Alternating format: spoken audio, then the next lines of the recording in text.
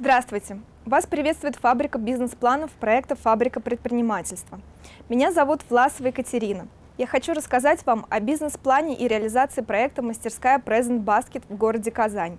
Идея заключается в создании небольшой мастерской по изготовлению подарочных корзин разнообразной тематики. Мужские, женские, новогодние, корпоративные, свадебные. С обязательным сервисом по доставке корзин адресату. Есть три причины, почему я выбрала для реализации данный проект.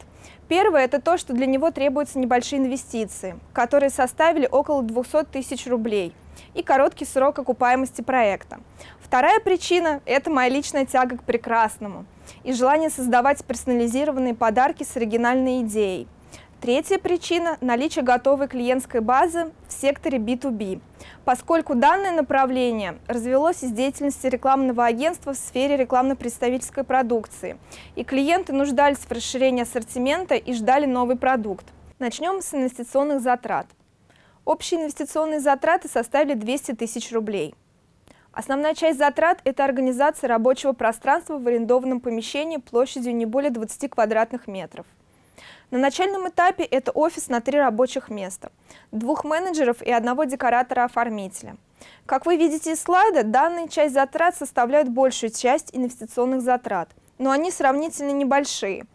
На этом слайде вы видите наш финансовый план, по которому мы начинали работать с данной идеей. Важным элементом финансового плана является, конечно же, выручка, которая складывается из общего объема заказов в месяц.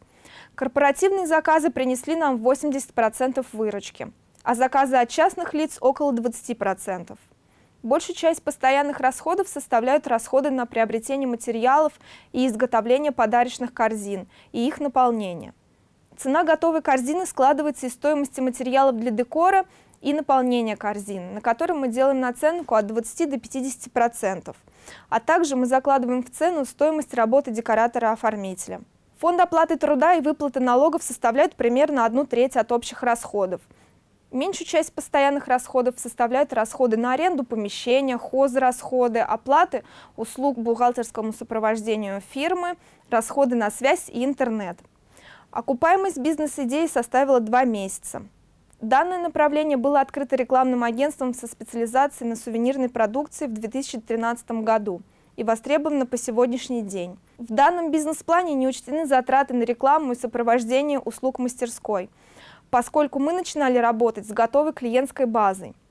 В противном случае повысится срок запуска проекта, возможно, выручка будет на порядок меньше, и как следствие срок окупаемости будет больше. Важным моментом в создании подобного бизнеса является следующее – Первое – это хорошие образцы каталоги продукции, по которым клиенты смогут подобрать подарочные корзины, соответствующие их запросам и пожеланиям.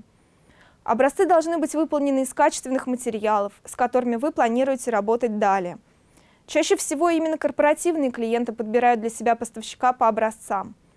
Важно включить в образцы наиболее популярные модели корзин, которые, как вы полагаете, будут пользоваться большим спросом. Второй момент – это оригинальность оформления подарочных корзин. Необходимо постоянно искать новые варианты декора, наполнения корзин, чувствовать тенденции дизайна. Обязательно повышать мастерство декоратора-оформителя и регулярно проходить мастер-классы. Третьим, но не последним по значимости моментом является продвижение услуг.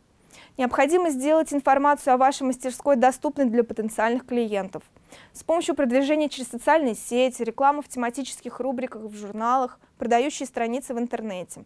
Это обеспечит постоянный необходимый поток заказов. Это сделали мы, а значит сможете сделать и вы. С вами была рубрика «Фабрика бизнес-планов» проекта «Фабрика предпринимательства». До новых встреч! Thank you.